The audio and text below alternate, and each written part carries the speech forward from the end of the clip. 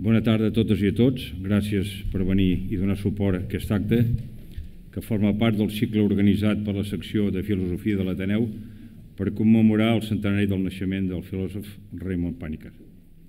Permeteu-me dir que la situació que pateix el nostre país, amb presos polítics i exiliats, i amb un tribunal suprem que acaba d'obrir el judici oral per referèndum pel referèndum de l'1 d'octubre, no ha ajudat a que aquest centenari tingués la repercussió que, que es mereixia en el món cívic, polític i intel·lectual del nostre país. Nosaltres hi hem contribuït modestament.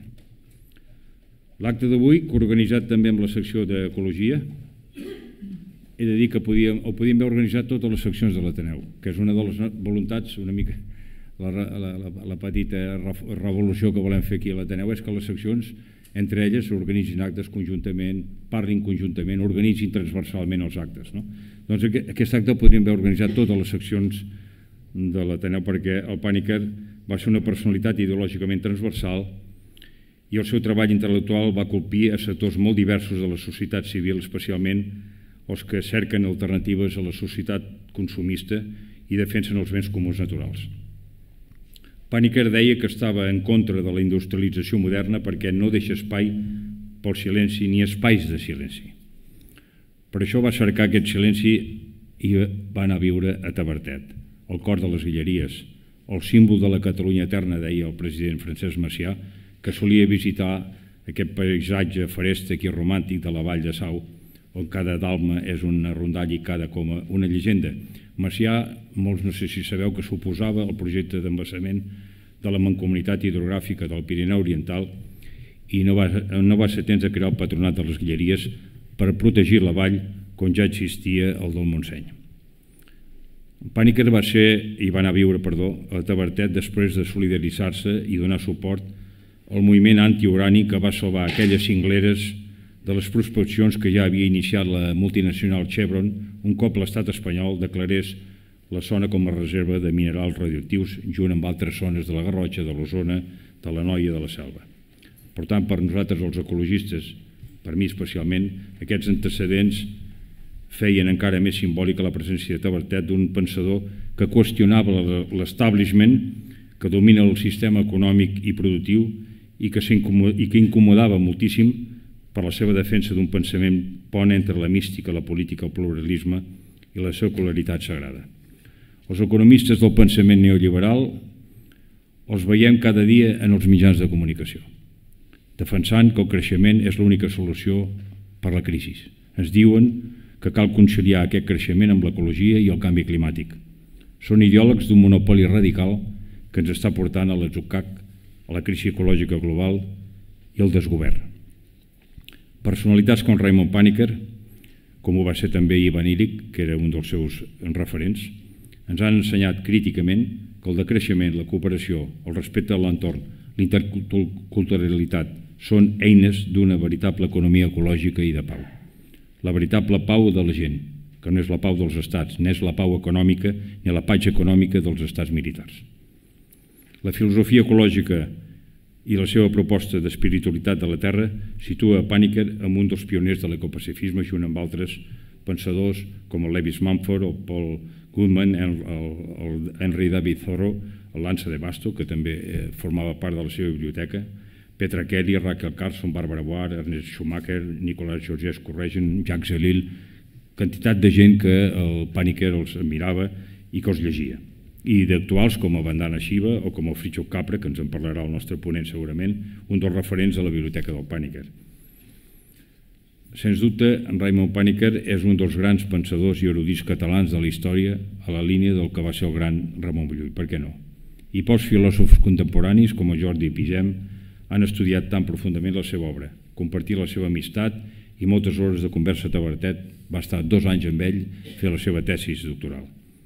Des de que va iniciar-se com a col·laborador en qüestions d'ecologia a la revista Integral l'any 1987, Pigem no ha parat de treballar i d'investigar sobre l'impacte de les tecnologies sobre la cultura, seguint les traces del mestre Ivan Illich, i sobre les conseqüències i sobre la, perdó, i sobre la consciència ecològica. Nascut a Barcelona el 1964, és doctor en filosofia per la Universitat de Barcelona, va ser professor de la Màster Honorístic i Ciències de la Schumacher College, És autor, entre altres, de Àngels i robots, la condició humana en la societat hipertecnològica, Intel·ligència vital, una visió postmaterialista de la vida i la consciència, la nova realitat, de l'economicisme a la consciència quàntica, entendre la natura, fonaments d'una cultura de la sostenibilitat, qüestió de valors, del consumisme a la sostenibilitat, bona crisi cap a un món postmaterialista, un dels darrers llibres publicat el 2009, i el pensament de Ramon Pàniker, interdependència, pluralisme, interculturalitat, editat per l'Institut d'Estudis Catalans del 2007 i que va ser la tesis que ell va, eh, va redactar i escriure a Tabertet mm, amb el suport i, i l'assessorament del Raymond Pàniker. Va col·laborar amb el Raymond Pàniker en l'elaboració dels seus llibres i articles, ha obtingut el Premi de Filosofia de l'Institut d'Estudis Catalans per la seva tesi doctoral sobre Raymond Pàniker, Premi d'Assaig de Resurgents i de Scientific of Medical Network i del Premi Joan Maragall. És professor, entre d'altres, del Màster de Diversitat Religiosa i el postgrau de Significats i Valors Espirituals de la Natura. Va coordinar els tres primers volums de l'edició catalana de l'òpera Òmnia Raymond Paniker i ha estat comissari de l'exposició Raymond Paniker Viure l'aventura intercultural de l'espai Avinyó a Barcelona l'any 2018. Gràcies Jordi, gràcies, moltes gràcies per la teva tasca que ajuda a donar contingut ideològic a l'acció ecologista i bueno, tens, la, tens la paraula per parlar-nos de l'aportació de Raymond Paniker a la transformació ecològica. Moltes gràcies. Moltes gràcies, Santi, i benvinguts. Gràcies per, per estar en aquesta sala. Em sentiu bé? Um, sí, més alt, més a prop? Sí. Um, una cosa que en Santi i jo compartim és que tots dos vam començar professionalment amb el periodisme ecològic, com ha, com ha esmentat ell, jo vaig, abans de fer el doctorat vaig començar treballant a la revista Integral. Ell havia començat molt abans. Eh, a principis dels anys 70 ja publicava articles sobre medi ambient, ecologia al diari de Barcelona i és en aquell moment, a principis dels anys 70, concretament l'any 1972, quan Raymond Paniker encunya el mot ecosofia, que és una mica una de les seves eh, aportacions més, més originals a, a repensar l'ecologia. L'any 1972 és quan tenim la primera mm, cimera sobre medi ambient i desenvolupament de Nacions Unides, a Estocolm. Això que veieu és un, són, són, citacions d'un partit, d'una petita entrevista que vaig fer jo mateix a Raymond Paniker l'any 2005 sobre aquesta qüestió de l'ecosofia. I aclareixo que molta gent s'ha interessat pel, pel concepte d'ecosofia en Paniker i Paniker fins i tot té, per exemple, un llibre en castellà que es titula Ecosofia, però no té cap text extens que parli sobre ecosofia. I és per això que, que en aquell moment vaig sentir la necessitat d'entrevistar-lo específicament sobre aquest tema, perquè pensava, mm, hi haurà un moment, com ara avui, que aquesta, aquest concepte d'ecosofia mmm, donarà què pensar i la gent voldrà saber què és. I com no hi havia cap exploració sistemàtica, doncs vaig, vaig uh, fer aquesta petita entrevista i aquí teniu unes, unes petites citacions al respecte. Però torno al que estava dient, l'any 1972 és com si la consciència ecològica per primer cop comença a coallar una mica. Ja aquesta cimera fa que es parli de d'ecologia de, molt més del que es parlava fins ara. També l'any 1972 es publica l'informe eh, del Club de Roma sobre els límits al creixement. És la primera vegada que es qüestiona la vaca sagrada de l'economia moderna, que és, que és el creixement econòmic. Mm? El, el, aquest informe, de l'informe Medus, que es diu de vegades, bàsicament conclou que si no canviem el camí de la civilització industrial a principis del segle XXI tindrem problemes. En aquell moment pràcticament tothom se'n va riure d'aquest informe. Se'n van riure els economistes, se'n van riure els acadèmics, se'n van riure els sindicats, se'n va riure tothom perquè se suposava que, bé, si hi ha algun problema al creixement econòmic ja trobarem, ja trobarem la solució, ja inventarem la tecnologia que, que ho resolgui. I, I no, de tecnologies n'hem inventades moltes, però no, no n'hem inventada cap que pugui eh, ajudar-nos a créixer de manera eh, indefinida. I ara que dic això, un petit parèntesi, des de Barcelona eh, es lidera un projecte de recerca europeu finançat per la, per la Unió Europea, dirigit per, per, per un físic que, que viu i treballa aquí, eh, Jordi Soler, eh, que està intentant posar al dia el, aquest informe dels límits del creixement amb dades actuals i utilitzen 5.000 paràmetres en el seu estudi. 5.000 paràmetres. I la seva conclusió és que, eh, evidentment, el, el business as usual, continuar amb el creixement industrial eh, eh normal, ens porta a superar els dos graus que establia la cimera de París i ens porta al desastre. Però que fins i tot el creixement verd, el green growth, que en diuen en anglès, és a dir, posar tot de tecnologies renovables i seguir consumint, també ens porta al mateix, uns anys, uns anys més tard. És, és un pal·liatiu però no és una solució. I per tant, la conclusió d'un informe que està eh, encarregat per la Unió Europea és que hem de renunciar al creixement. El que passa que la nostra economia està dicta al creixement i, i aleshores què, què fem? Però eh, aquesta és la situació. Per tant, l'informe Meadows, amb models d'ordinador dels anys 70 i amb dades dels anys 70, evidentment moltes coses no eren precises, però aquesta conclusió general de que si no canviem de rumb tindrem problemes, doncs bé, ara estem aquí i tenim Eh, caos climàtic no és només canvi climàtic, canvi suggereix un canvi gradual, és caos, és increment de sequeres, inundacions, tempestes, onades de calor i onades de fred, caos. És com si el, el clima ha perdut el seu equilibri i en busca trobar un de nou. I tenim bé tota la mena de desgavells que tots coneixeu, eh, eh, increment de les desigualtats socials, immigrants que s'ofeguen, pèrdua de legitimitat de moltes institucions, etc etc. Doncs bé, l'any 72 és el primer crit d'alarma sobre això. L'any 72 també passen coses significatives com que per primera vegada en milers i milers d'anys el riu Groc, una de les dues grans artèries de la civilització xinesa, no arriba al mar. No arriba al mar perquè projectes agrícoles industrials fan que, la, que, que s'acabi l'aigua abans d'arribar al mar.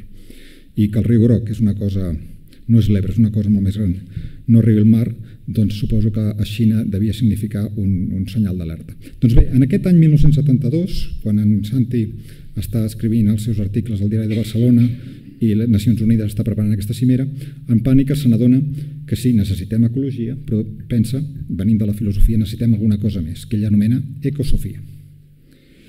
Però, al mateix temps, aquest mateix any 1972, hi ha un altre filòsof, noruec, Arne Ness, una miqueta més gran que Pàniker, nascut eh, sis anys abans, eh, que està fent unes conferències a Romania i també pensa, sí, necessitem ecologia, però també necessitem ecosofia. És a dir, que tots dos, Pàniker, català que està vivint a Califòrnia, i Ness, noruec que està mm, ensenyant a Romania, simultàniament encunyen el mot ecosofia.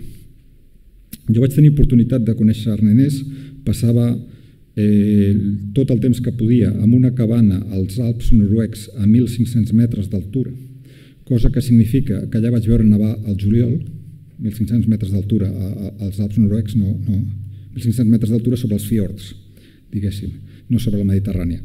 Amb 10.000 llibres i una gran eh, caldera de gasoil, bàsicament, i moltes llaunes de conserves per menjar. I, i des d'allà, mirant milers de quilòmetres quadrats de, de llacs i muntanyes, escrivia els seus llibres. Doncs a Ness li vaig preguntar si havia llegit mai Pàniker i va dir no, algú em va parlar d'aquest Pàniker, però no, no l'he llegit mai. I a Pàniker el vaig, li vaig preguntar sobre Ness i em va dir exactament el mateix. Sí, algú me'n va parlar, però no l'he llegit mai. És a dir, que completament, de manera completament independent, aquests dos filòsofs van arribar a una conclusió que, que en el fons és lògica. Mm, ells sabien que que la ciència està molt bé, necessitem ciència, però la ciència moltes vegades no ens acaba d'aclarir qüestions profundes, no ens acaba d'aclarir com hem de viure, per exemple, ens analitza coses, ens permet crear tecnologies, però no ens dona respostes ètiques, per exemple. I tots dos, venint del món de la filosofia, van considerar que, bé, necessitem ecologia, clar que sí, però a la vegada la nostra aportació és dir necessitem més, ecosofia. Aleshores, Sofia, sabeu que en grec eh, significa saviesa, per tant, ecosofia literalment significa la saviesa de la Terra, però eh, Nes i Pànica ho entenen de manera diferent. Mm, hi ha un tercer filòsof, Fèlix Guattari, que també després va utilitzar aquest concepte d'ecosofia. Però em centro en, en Nes i Pàniker. Eh, Arne Nes, el filòsof noruec, el que diu és que ecosofia vol dir la nostra saviesa sobre la Terra. Mm? I tinguem present que saviesa és una cosa que avui en dia mm, gairebé ja no, ja no se'n parla. Avui en dia parlem de dades. I per mi hi ha com quatre nivells. Eh, la saviesa, el coneixement, la informació i les dades. Si tens moltes dades i les integres de manera coherent, tindràs informació.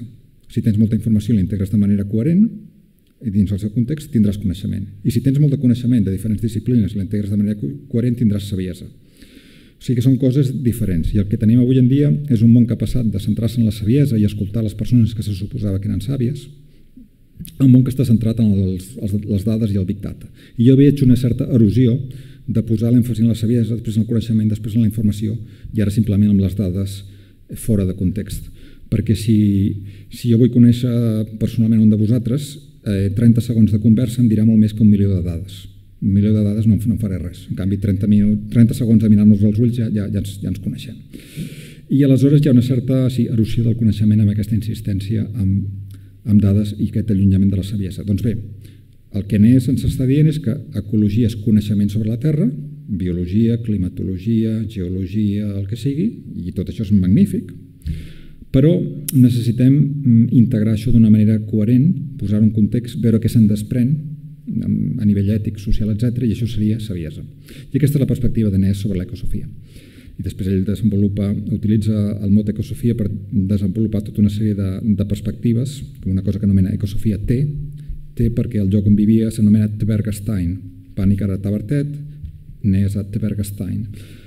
Doncs bé, Pàniker eh, diu que per ell ecosofia, no sé si està en aquesta citació, mm, eh, el nostre coneixement sobre la Terra el nostre coneixement sobre la Terra i la saviesa de la Terra mateixa, que hem d'intentar escoltar i compartir. I això és una cosa nova, és a dir, que hem de tenir saviesa sobre la Terra, sí, és, és prou evident, no, no, cal, no cal que insisteixi mai gaire, suposo, perquè, perquè estem d'acord en que, a més de coneixement sobre la Terra, ens cal saviesa sobre la Terra. Però Pàniker està dient una cosa més, que és una cosa que sobta molt els qui tenim un mínim de formació científica. Ens està dient que la Terra mateixa té una saviesa que hem d'aprendre a escoltar. I això és una cosa que, que si teniu una carrera científica mm, preguntareu això, això, això què vol dir?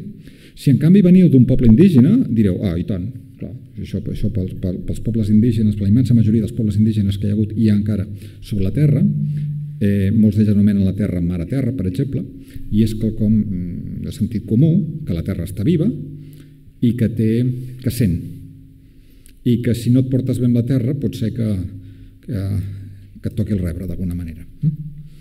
Doncs bé, Pàniker, que, que és doctor en química, és a dir, és doctor en filosofia, és doctor en teologia, és doctor en química. Mm, el llenguatge científic no li és aliè.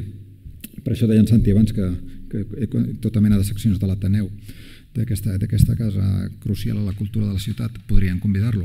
Pàniker sap què parla quan parla de ciència i una de les coses que diu és que, bé, sí, sí, necessitem ciència, però a més necessitem alguna cosa més i necessitem desenvolupar aquesta receptivitat, aquesta capacitat d'escolta respecte a la Terra.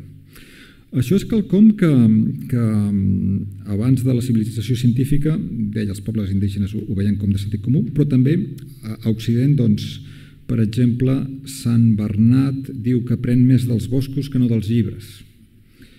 I hi ha molts poetes i hi ha molts eh, filòsofs a Orient i a Occident i a tot arreu que, que, que això ho, ho troben de sentit comú. Um, el taoisme, tot un corrent filosòfic mil·lenari a la Xina, es basa en uh, l'observació de la natura, dels moviments de l'aigua i dels moviments de la natura. I a base de contemplar la natura es deriven doncs, eh, tota una sèrie de, de coneixements i, i, i de pràctiques també. I, i, tot una, I tota una filosofia. O sigui que això no és, no és res nou. Però sí que és nou doncs, que sí, que, que l'Occident modern, un, un gran catedràtic, com, com començava a ser Pàniker aleshores, l'any 72 és quan ell arriba a Califòrnia com a catedràtic eh, de la Universitat de Califòrnia, catedràtic en filosofia comparada de les religions a Santa Bàrbara, de, per la Universitat de Califòrnia. Um, doncs bé, ell, ell, ell eh, està dient això, que necessitem aprendre a desenvolupar aquesta receptivitat davant la Terra. I si voleu després explorem una mica què significa això, perquè jo això, bé, sí, tinc coneixement de fa molt de temps no? d'aquesta idea de Pàniker, però només ara començo a, a, a veure les conseqüències que es desprenen de tractar la Terra com un tu i no pas com un objecte. O sigui, fins ara hem tractat la Terra com un objecte, eh, com un objecte que estava sota nostra. No? Hem, hem tractat la Terra com un, com un magatzem de recursos i un embornall on, on, on enviar tots els nostres residus i ja s'espavilarà la Terra. No? I ara ens adonem que estem arribant contra els límits. Estem arribant contra els límits a moltíssims nivells. Per, eh, com sabeu, hi ha, hi ha un límit que estem impactant contra l'equilibri climàtic, hi ha uns límits energètics, eh, la, la immensa majoria de les, no, la immensa majoria no, totes les fonts d'energia que hem estat fent servir fins ara comencen a estar en crisi, per això fem servir fracking i no hi hauria prou urani per eh, continuar amb la festa del consum amb, amb energia nuclear. No hi hauria prou urani durant prou temps. no, no tenim cap forma clara de, de, de, de mantenir el nivell de consum actual amb els recursos que ara mateix tenim. I per això ha sortit en aquesta, una petita conversa que hem tenim, tingut en Santi i jo, si, si volem somiar amb una Catalunya independent, hem de somiar amb una Catalunya independent que consumeixi molt menys, que, que, que, incorpori el decreixement. Decreixement, per cert, que és un corrent eh, del que de vegades s'ha dit que té com a pares ideològics Ivan Illich i Pàniker. Pàniker eh, va conèixer personalment i va influir en moltes de les persones que van posar en marxa el que avui en dia anomenem de creixement, com ara Serge Latouche, eh, economista francès, que moltes vegades ha estat aquí a Catalunya eh, parlant sobre el tema. Serge Latouche, jo no sabia qui era, i un dia, amb una trobada amb Pàniker, eh, hi ha aquest francès que me'l presenten i és, i és Serge Latouche, que estava allà per, per la seva admiració per Pàniker. O sigui, la, el referent filosòfic principal de Serge Latouche, la, perso la persona que més s'associa amb l'idea de creixement, és Pàniker. Més fins i tot en el seu cas que, que no pas Ivan Illich. Doncs bé, estem topant contra els límits del planeta, suposo que això és un tema que en aquesta secció d'ecologia heu esmentat moltes vegades, però esmento un, un, un element d'aquesta topada que en el, a l'època de Pàniker, l'època de Pàniker, sí, fa, fa 15 anys, eh, jo no en tenia cap notícia i no es coneixia prou, i és que bé, sabem que estem topant contra els límits eh, geològics, biofísics, etc. però també estem topant contra els límits de la taula periòdica dels elements. M'explico la humanitat fins a la revolució industrial bàsicament va utilitzar una dotzena dels elements de la taula periòdica. Ferro, coure i, i uns quants més. I amb això, amb això t'espaviles per les tecnologies que teníem fins a la revolució industrial. A mitjans del segle XX utilitzàvem com la meitat de la taula periòdica. Utilitzàvem molts més elements. Però hi havia elements que no sabíem per què servien. Hi ha, per exemple, a la taula periòdica s'anomenen els lantànids o terres rares o metalls rars, coses que s'anomenen presodimi, neodimi, gali, indi, etc. que la, si no us interessa el tema potser no heu sentit mai dir aquestes paraules. No? Això són elements de la taula periòdica dels elements. I això en principi no servia pràcticament per res. I vet aquí que avui en dia el vostre telèfon mòbil, sense molts d'aquests elements rars, no podria tenir les aplicacions que té perquè hi ha tota una sèrie d'operacions molt sofisticades que requereixen metalls que són molt únics, que són, aquest, per exemple, aquestes terres rares, els més grans dipòsits de les quals estan al nord de la Xina, i es diuen rares perquè no apareixen en dipòsits compactes, sinó que estan escampades per tot arreu. I aleshores has d'agafar molta terra i anar filtrant i anar... La seva extracció és molt, és molt costosa econòmica i ecològicament. I després no es poden reciclar. Però bé, el que està passant ara és que estem ja utilitzant pràcticament tota la gamma de la taula periòdica dels elements. És com si hi havia uns colors que abans no utilitzàvem i ara els estem utilitzant tots. I alguns d'aquests elements ja estem arribant al límit de la seva extracció. I, per exemple, plom i platí i alguns d'aquests cada vegada ja se'n produeix menys perquè ja no se'n troba. I tots ells tenen propietats úniques, cosa que vol dir que moltes tecnologies que requereixen aquests materials, quan s'acaba aquest material, no el pot substituir. Un cas molt, molt simple, el, el plom és l'element més dens, més pesant que hi ha després del tungstè. Això vol dir que si tungstè és un material radioactiu i molt difícil d'aconseguir, etc. Bé, doncs si s'atacava el plom i necessites plom per una determinada tecnologia, mireu que el plom és un d'aquests elements que hem tingut tota la vida, doncs per molt que barregis ferro i coure i, i el que vulguis, no sortirà un metall tan pesat com el plom. Mm? És una propietat única d'aquest metall. Doncs bé, cada, cada element té la seva propietat única. I aleshores no, no només estem topant contra els límits de la disponibilitat de combustibles fòssils i els límits de, de, de, del, del planeta a nivell d'impacte climàtic, sinó que també se'ns estan acabant els materials i molts d'aquests són insubstituïbles. Cosa que una vegada més ens porta a, a concloure el que ja Pàniker i Illich i Sars Latouche, etc., deien que hem d'aprendre a viure millor amb menys hem de passar aquest decreixement. Aleshores, viure millor amb menys, dit així, si, si digués només viure, viure amb menys, eh, ja posaríeu mala cara. I si un partit polític intenta mm, vendre, voteu-me que consumirem menys, doncs eh, té garantit que no, que no sortirà. Eh, per això diem viure millor amb menys, eh, entre altres coses perquè hem après que el consumisme no porta la felicitat i probablement tots vosaltres algun dia us heu comprat una cosa pensant que seríeu més feliços amb aquesta cosa i al cap d'un temps heu vist que no que no n'hi havia prou, que se n'havia de comprar una altra o que no, o que no era allò que, que la publicitat pretenia. Aleshores, hem d'aprendre a viure millor amb menys Però aquest aprendre a viure millor amb menys, des de la perspectiva de Pàniker, eh, requereix aquest element de saviesa, de sofia. Mm? Perquè si no, eh, austeritat per si sembla una cosa poc atractiva. En canvi, si estàs vivint millor amb menys, sentint-te part de la Terra i sentint-te plenament integrat o integrada amb els cicles de la Terra, és una cosa molt diferent que si ho estàs fent com a, com a penitència. I per això, doncs bé, aquesta, aquesta idea de pànica que, com dic, sí, mai desenvolupa del tot, però mm, que l'expressa, amb, amb, amb citacions com aquestes, no? um, sobre el, el fet d'aprendre a escoltar la saviesa de la Terra. Eh, recordo que una vegada em va dir, mm, més específicament, que ell, que ell els arbres li parlaven i no vaig gosar preguntar-li més. Vaig gosar... Suposo que no li parlaven de la manera que jo us parlo a vosaltres. No? Eh, suposo que és més que, que li suggerien intuïcions, no? no és que li donaven un discurs. No crec que els arbres donin discursos, tot i que, que sabem que els arbres es comuniquen i es, i es reconeixen a sota terra les, les arrels, una arrel sota terra, troba una altra arrel saps si és del mateix arbre o d'un arbre de la mateixa espècie o d'un arbre d'una altra espècie. Eh, les plantes fan tot de coses Eh, la setmana passada vaig estar en una conferència sobre això, que són increïbles i que, i que abans no s'haguessin cregut i que ara surten publicades a les millors revistes científiques. Però això és un altre tema i si voleu eh, en parlem després. És un altre tema, però no del tot, perquè eh, una de les primeres resistències a creure que la Terra està viva és dir, bé, no? si, si fins ara hem cregut que els humans som els únics éssers dotats d'intel·ligència i sensibilitat. Això és el que durant molts segles hem cregut. De fet, durant molts segles el que es va creure és que els únics éssers dotats de plena intel·ligència eren els homes blancs. Després va incloure les dones i els indígenes i els africans, etc. però al principi era això, eren només els, eh, els, els homes blancs. Aleshores, eh, avui en dia el que la ciència ens mostra és que hi ha intel·ligència i sensibilitat en totes les espècies animals i en totes les plantes.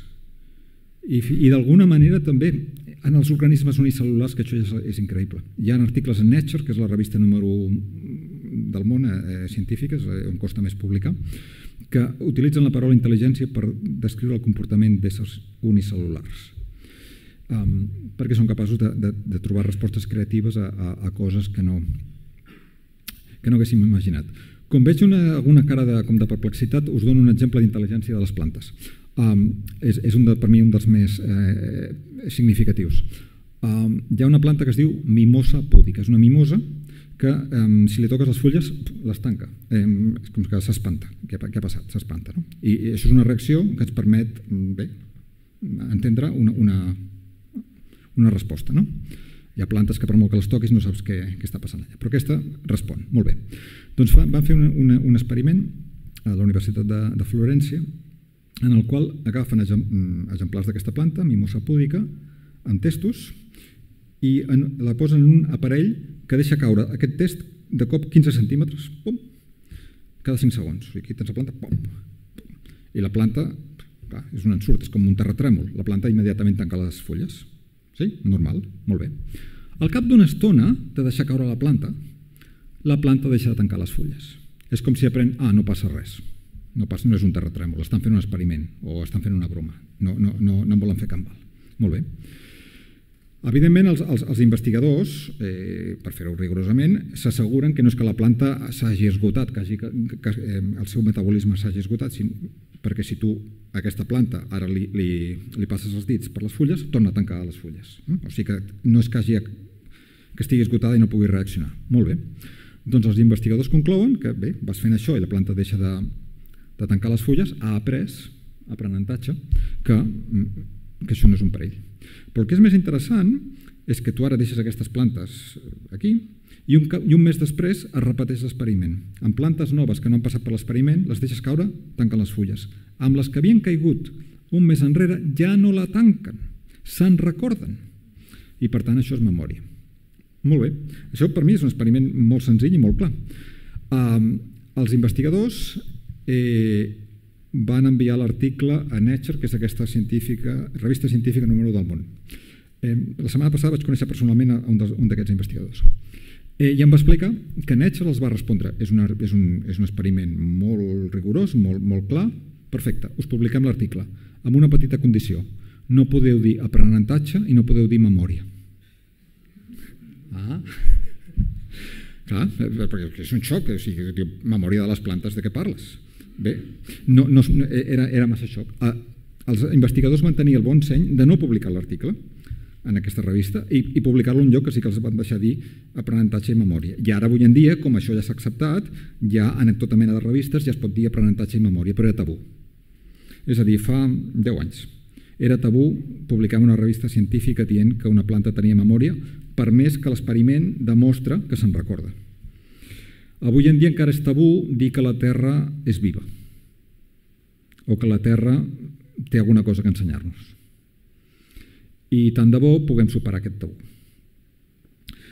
De manera que, amb la línia del que estava dient en, Santi, no ens toca només construir un nou país, però ens, ens toca sobretot construir una nova relació amb la Terra. Amb la Terra, amb, amb els altres i amb nosaltres mateixos. I això és un, una transformació eh, molt més gran que crear un nou estat aquesta nova relació amb la Terra. Entre altres coses, perquè portem una inèrcia de quatre segles de creure això, de que els humans estem per damunt i la natura és una cosa que està allà sota perquè nosaltres l'anem la, explotant. I aquest creure que nosaltres estàvem per damunt, el que crec que ha fet és que els humans ens haguem acabat sentint molt solets perquè érem els únics que, que, érem, que érem intel·ligents i teníem sensibilitat. I potser per això avui en dia hi ha tantes depressions i, i, tanta, i tanta gent que se sent sola, perquè ja no ens sentim germans de les plantes i dels animals i dels boscos i dels mars, etc. I per això, perquè no ens sentim germans, podem contaminar-los de la manera que, que els contaminem. I podem omplir els oceans de plàstic i, i podem omplir de contaminació l'Àrtic i l'Antàrtida, etc. O podem escalfar el planeta fins al punt que, avui ho he comprovat, ara mateix, tant a l'Àrtic com l'Antàrtida, el nivell de gel és el mínim que hi ha hagut des que van començar les, els mesuraments per satèl·lit, tant a l'Àrtic com a l'Antàrtida. Hi ha menys gel que mai a dia 25 d'octubre. No hi ha hagut cap 27 d'octubre, ni a l'Àrtic ni a l'Antàrtida, que hi hagués menys, menys gel que avui. I això pràcticament passa cada dia, però ho he volgut comprovar ara aquesta tarda. Um, per sort tenim totes aquestes dades. És una cosa molt curiosa que, comparat amb quan vam iniciar-nos nosaltres en el moviment de, ecologista, diguéssim, cada vegada tenim més dades, cada vegada sabem més, cada vegada tenim més proves de que estem destruint el món. I què fem? Bé, els seguim destruint L'increment de les dades ha fet que incrementi la consciència i ha fet que puguem parlar de coses que abans eren insospitables, però la immensa majoria dels paràmetres ecològics han anat a pitjor. I no només han anat a pitjor, sinó que van a pitjor de manera cada vegada més accelerada. I això és la realitat que tenim, ens agradi o no. Van a pitjor de manera cada vegada més accelerada. Si la Terra està viva, com suggereix Pàniker i com d'altra banda mm, hi ha una teoria que se'n diu teoria Gaia que també hi apunta i potser, potser us en parlo una mica és una altra una aproximació científica al mateix a quelcom que ja sabien els, molts pobles indígenes i, i allò que apuntava Pàniker. Si ens prenem seriosament la idea que la Terra està viva doncs bé, alguna cosa haurà de fer per treure's de sobre allò que li fa més mal i allò que li fa més mal no som els humans sinó la, la civilització industrial perquè els, els Yanomami i els Lakota i, i, i la immensa majoria de pobles indígenes no li fan cap mal. Eh, el que passa és que no podem viure tots com viuen els pobles indígenes, entre altres coses perquè són masses. I aquí està el repte de com aprenem a viure millor amb menys. Aleshores, eh, relacionat amb, que, amb, el, amb això que deia que el que li fa més mal a la Terra ara és la civilització industrial, consumista, etc., també és rellevant dir que Pànic als anys 80 està parlant sovint del que ell anomena tecnocràcia, mm, que no estem en una democràcia on governa el poble, això ja, ja ho hem après, sinó en una tecnocràcia. El que, el que mana és la tecnologia i allò que li convé a la tecnologia, no el que convé a les persones. I amb aquesta tecnologia sempre va lligada a l'economia. O sigui, la immensa majoria del que avui en dia es decideix és pel bé de la, de, de la tècnica i de l'economia, no pel bé de les persones, de la cultura, de l'educació, etc. Si ahir la portada de molts diaris deia que el govern espanyol eh, no vol deixar de vendre armes a Aràbia Saudí, eh, independentment de qui no se'n faci. Per què? Doncs bé, perquè per criteris ètics i humans, etc., deixaries, no, no, mai vendries armes, però l'economia mana. I això és tecnocràcia. Tecnocràcia és que bé, que per molt que, que, que que et diguin, miri, això és un desastre, això, això, és, això és eh, terrible, doncs seguiràs venent armes perquè mm, la tecnocràcia demana. Doncs bé, tecnocràcia, aquest és un terme que, que Pàniker utilitza en molts textos dels anys 80. Uh, vull aclarir també que això no vol dir tenir res contra la tecnologia, el que bàsicament vol dir és les tecnologies són fantàstiques, com aquest micròfon, sense el qual seria molt més difícil que, que ens comuniquéssim.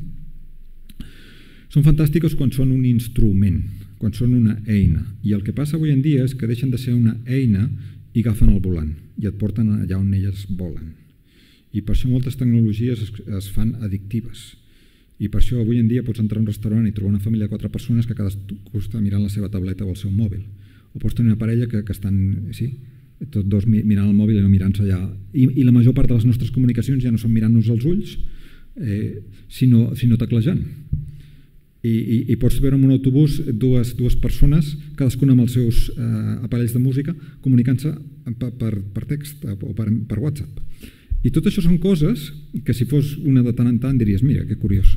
Però és com si, no, tota la condició humana està canviant i deixa de comunicar-se cara a cara per comunicar-se a, a través de teclats, que són molt útils quan, quan la persona amb la qual la comuniques està a Nova York, fantàstic, però a vegades ho estàs fent amb la persona que tens al costat.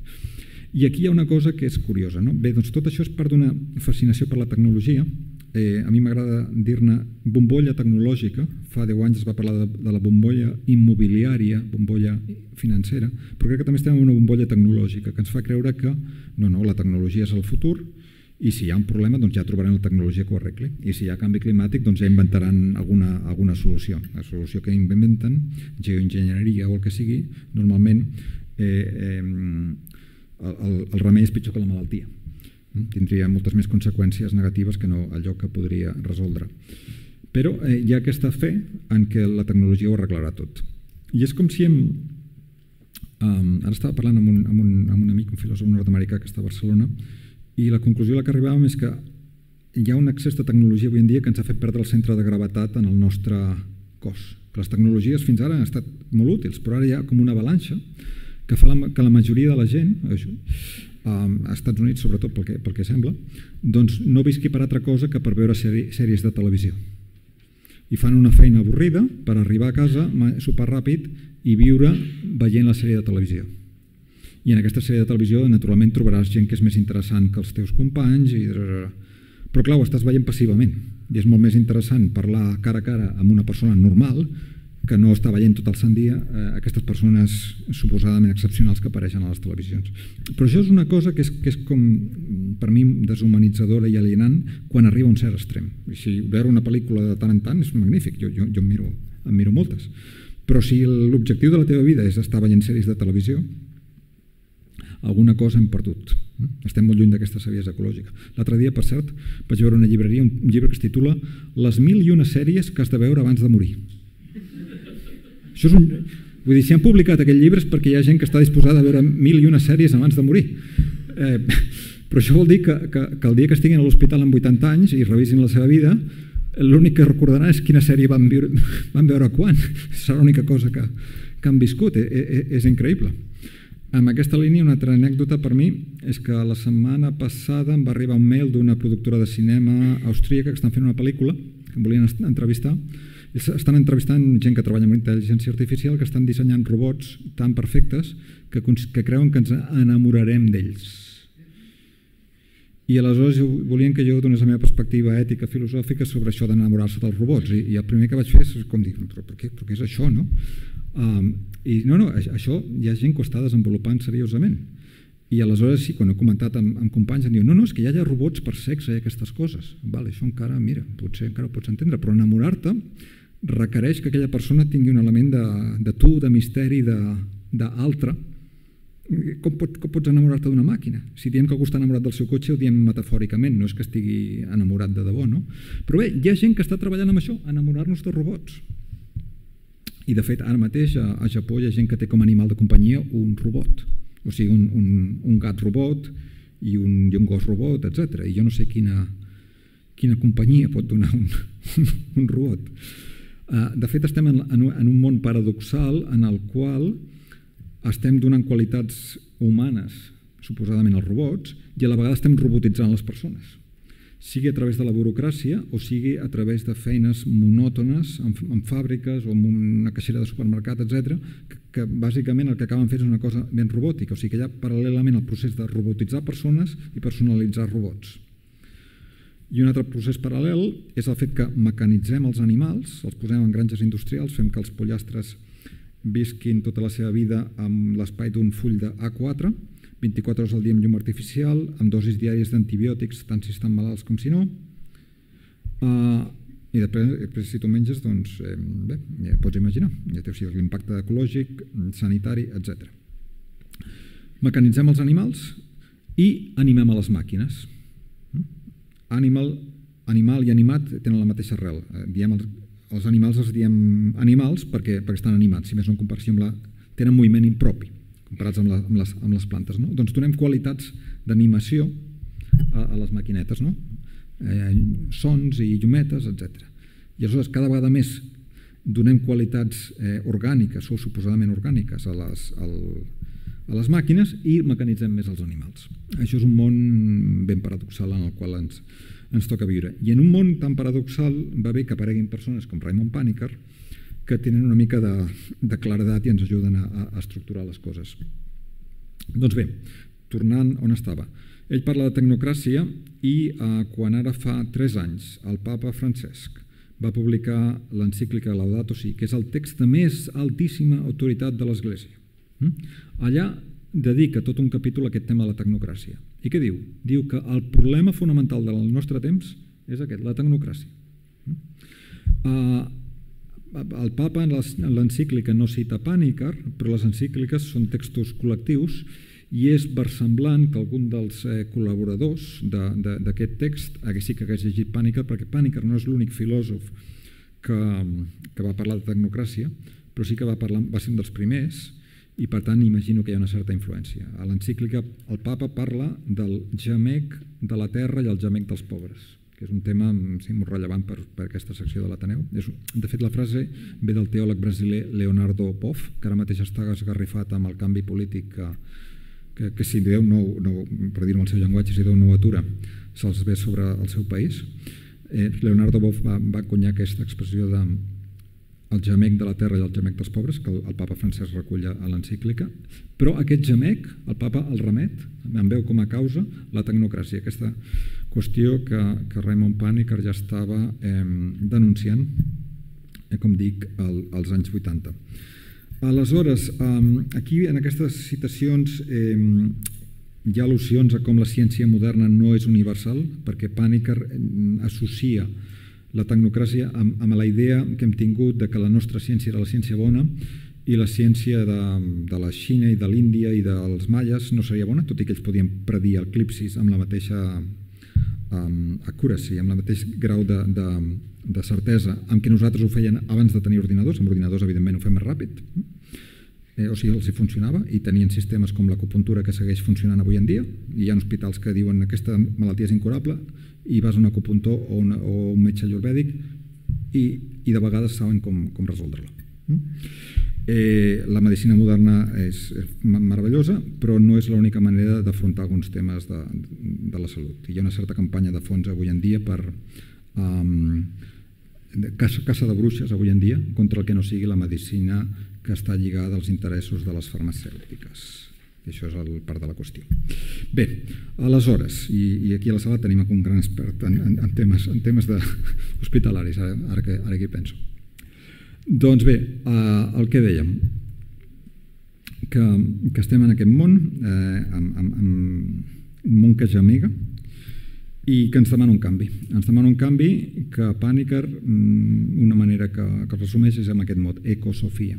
Adonar-nos del fet que la Terra eh, no és només una cosa que està aquí perquè l'explotem, sinó que és quelcom eh, amb què ens podem, del, que, del que podem aprendre.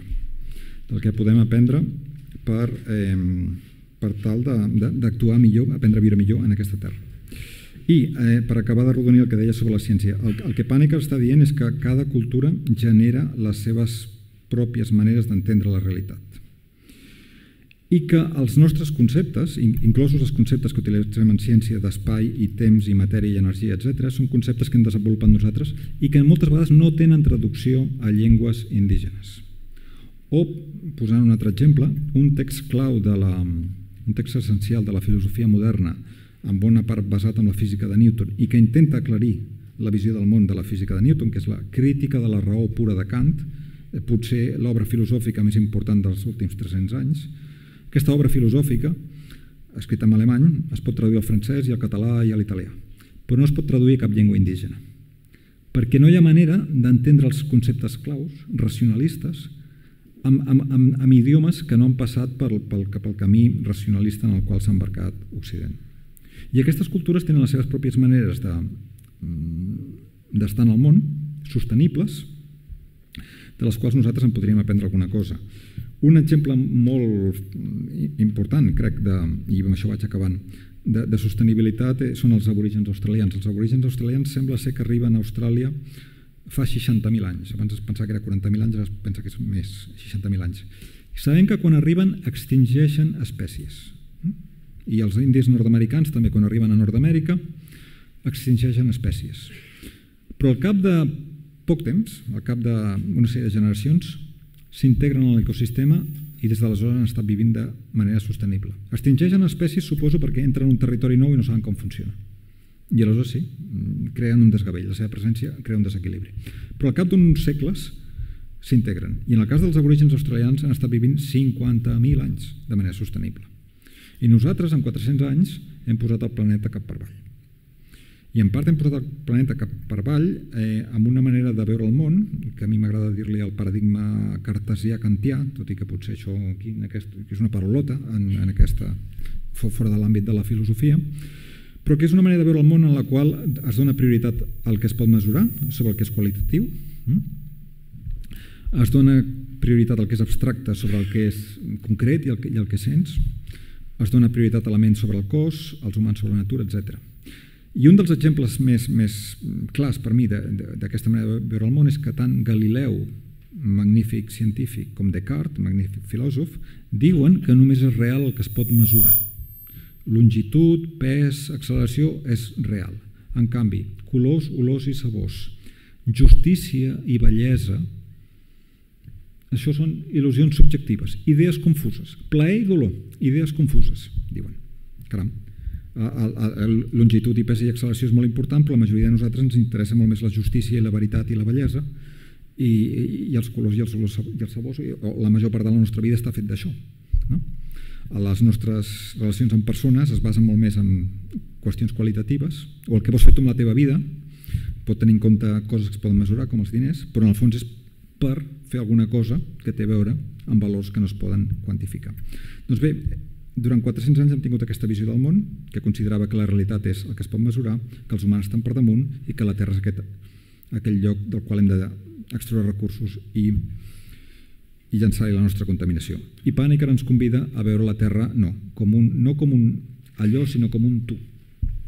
La Terra com un tu. A, a, com un algú amb la qual et pots relacionar que és una cosa, com deia, que en totes les cultures humanes ha estat gairebé de sentit comú fins ara. I, i potser nosaltres hem posat el, la Terra el, eh, contra els límits perquè hem perdut el seny, el sentit comú. I si voleu, ara continuem amb, amb diàleg i amb preguntes i amb comentaris que tingueu. Moltes gràcies.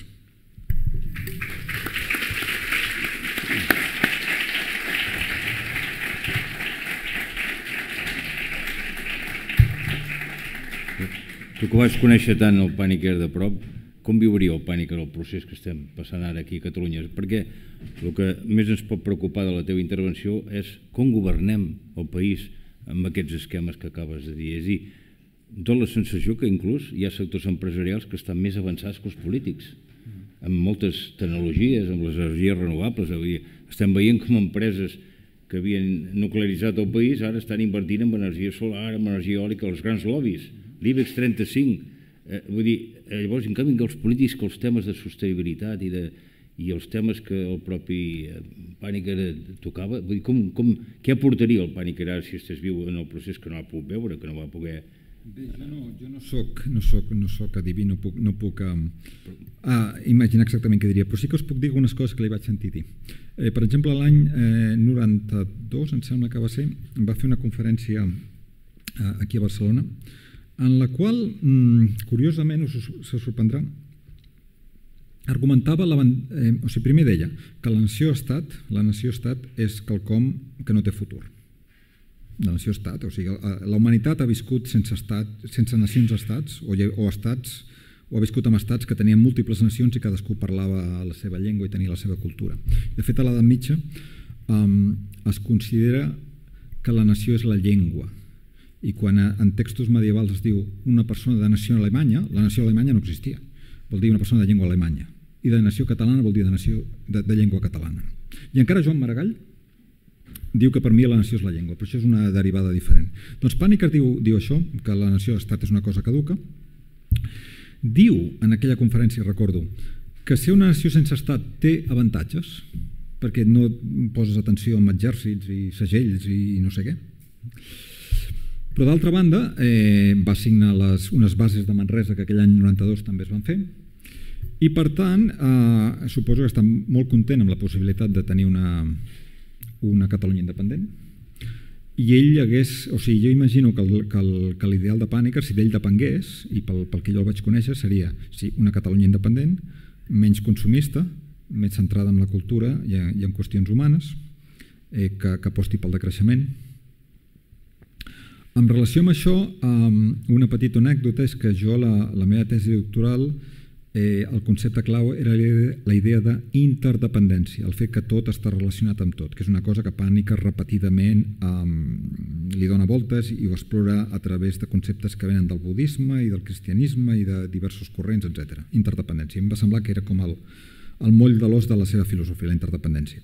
Doncs bé, en una ocasió pujàvem en cotxe des de, des de Sant Feliu, que tu ets de Sant Feliu, Ai, perdona, però tu tenies alguna relació amb Sant Feliu. Sí, sí. sí, sí, sí de... Bé, doncs pujàvem en cotxe de Sant Feliu de Guíxols a, a Tabertet. I aleshores jo aprofito per explicar-li, mira, jo estic fent aquest, ara estic fent la tesi, l'estic acabant i el tema central és interdependència. I em diu, no, no, no és interdependència, és interindependència. Interindependència, no havia sentit jo mai aquesta paraula, i potser alguns de vosaltres tampoc, no? Què vol dir interindependència? Sí, interindependència, aleshores vam estar com, com mitja hora parlant sobre i, i jo intentava dir-li, però a veure, no vol dir el mateix? No, no és el mateix. I aleshores una, una mica la, la, la meva conclusió molts anys després és que bàsicament sí que refereixen al mateix. Mm? O sigui, la, si una cosa pots dir que és interdependent, també pots dir que és interindependent. Però hi ha una diferència de matís que és molt important. La interdependència posa èmfasi en la dependència. Una cosa depèn de l'altra i l'altra depèn de l'una. Interindependència posa l'èmfasi en la llibertat de cada ésser tots són independents, tots estem en relació amb els uns amb els altres, però som independents. Mira, si jo, jo depenc de tu, tu depens de mi, però tu ets tu i jo sóc jo. I aquesta és una mica la diferència d'èmfasi, que és semblant a, a paraules que són sinònimes, que volen dir tècnicament el mateix, que poden tenir la mateixa definició al diccionari, però que sonen diferent i tenen connotacions diferents. Aleshores, segurament la paraula interindependència te sona més simpàtica que no pas interdependència. I per tant, eh, suposo que ell eh, Bé, eh, una, una gran part del que, del que estem vivint li semblaria esperançador. Eh, estic segur que no li hagués sorprès gens el que, la reacció que vam viure l'1 d'octubre, perquè no... Bé, mm, perquè tenia la mà trencada de veure, de veure que hi ha darrere de, de la façana de moltes coses. I, i bé, i crec que i, sí, en, en, en, el, en el fons crec que per ell això seria una prova més de que estem en un món que necessita una transformació radical. Transformació radical que ell um, resumia la paraula metanoia, metanoia que, que, que vol dir anar més enllà de la, de la ment racional, més enllà del nous, ment racional. I en aquest sentit també és interessant, que no ho he dit abans, que ell no només parlava de sostenibilitat, o gairebé no va utilitzar aquest món, però una cosa que s'hi deia no era que aquest món sigui insostenible, deia que aquest món és impossible que és molt més gros. Insostenible vol dir a nivell ecològic. I no, no, això és impossible. Impossible vol dir un món on s'ofeguen els immigrants i, i, els bancs guanyen diners a costa dels pobres, etc. Això és un món impossible. Impossible en el sentit que, que no pot durar per sempre, que no pot durar gaire. Hi ha, hi ha coses que són impossibles, hi ha coses que mantenen en equilibri, però són impossibles i vol dir que tard o d'hora cauran. I així és com ell veia el nostre món. Veia el nostre món com profundament necessitat d'una transformació radical que, que inclou, entre altres coses, una transformació profunda de la nostra relació amb la natura. I això seria una mica la clau de volta de l'aportació de pànic a la transformació ecològica. Esperem transmetre al Consell Assessor de, presidit per Lluís Llach aquesta idea. Hi ha, hi ha una pregunta aquí? Eh, teniu la paraula. Sí, no sé si el micro... Eh, el ja, micro ja potser, sisplau. El micro, no sé si hi ha un micro, si no hi ha un micro, intenta, intenta si t'assento. Sí, sí, bueno. sí. Permetin, sisplau, que com que s'agrava tot, li porten el micro ara, perquè es, es grava això i es posa després a la web.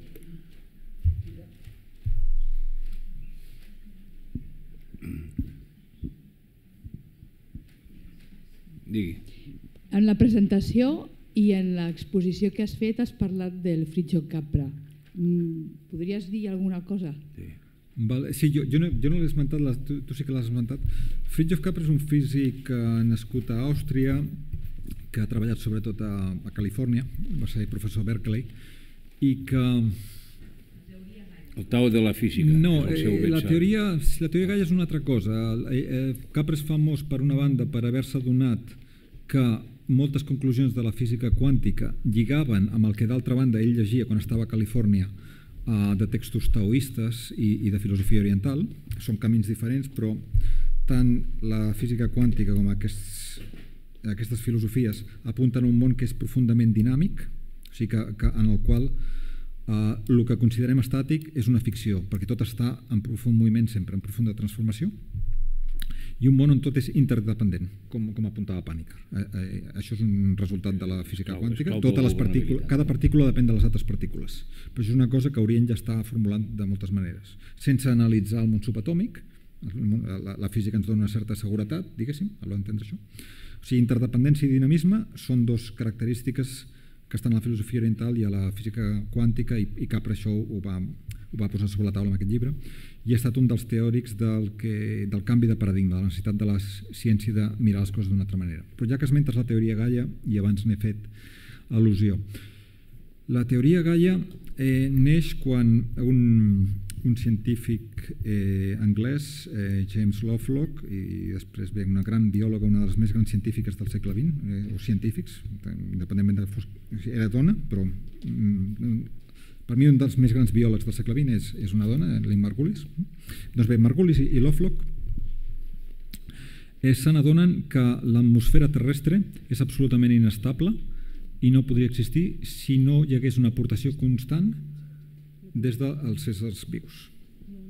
Um, la Terra té tota una sèrie de paràmetres i els ha tingut en els últims 3.000 milions d'anys que es mantenen en condicions òptimes per la vida.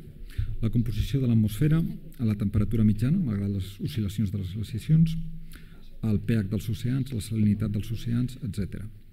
Per exemple, l'atmosfera té un 21% d'oxigen. Si tingués gaire menys, no podríem respirar. Si tingués gaire més, els boscos es cremarien de manera imparable. 21% d'oxigen és l'òptim per la vida. Ara bé, a l'atmosfera també hi ha, per exemple, metà, metano. Uh, el metà reacciona amb l'oxigen, produint aigua i CO2. I per tant, si, tens, si tu poses en un laboratori eh, metà i oxigen, eh, es, es, es deixen de ser metà i oxigen, es transformen en CO2 i aigua. Mm? Perquè hi hagi una quantitat constant d'oxigen i una quantitat constant de metà, ha d'haver algú que està produint oxigen contínuament i i aquest algú és la vida. I aleshores eh, la teoria Gaia, amb models eh, complicadíssims científics, que, que, que, ara, que ara es publiquen en, sí, en, en revistes d'allò més prestigiós, inclòs Nature, doncs et, et mostra que hi ha hagut aquesta regulació contínua de la vida durant milions o, o milers de milions d'anys. I aquesta regulació és equivalent a com tu regules la temperatura del teu cos. Que si fa fred es posa la pell de gallina, si fa calor sues. I això és una característica orgànica. Inicialment, eh, Lovelock i Margulis van dir que la Terra estava viva. La comunitat científica se'ls va tirar al coll. O sigui, de la mateixa manera que aquests científics de les plantes no podien dir a Nature aprenentatge i memòria, doncs el Lovelock i Margulis va considerar que si dius que la Terra està viva això és una gran heretgia.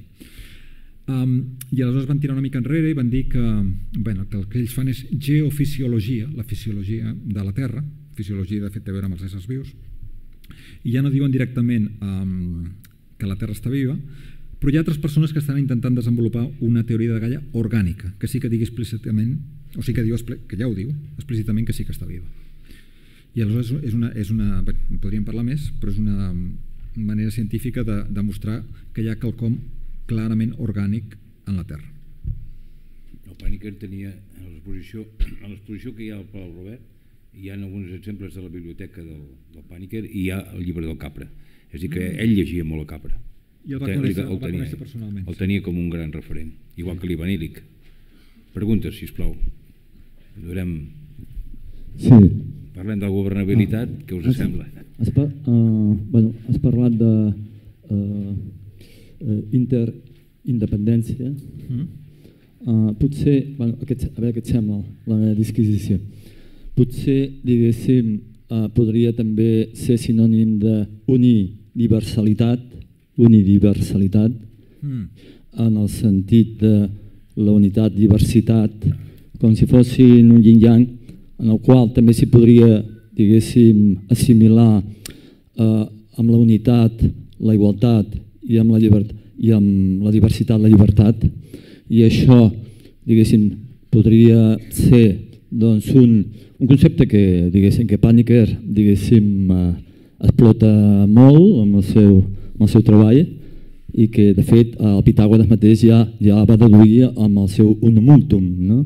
Uh -huh. ah, diguem-ne, i això, eh, en quant a frenar el canvi climàtic, en el sentit aquest global o alter global, diguéssim, d'apaivagar l'imperi i eh, construir una confederació, que d'alguna manera seria la manera, eh, per dir-ho així, eh, en aquest, en aquest eh, globalisme localístic, o que també diu una, un neologisme que es diu localístic, localístic.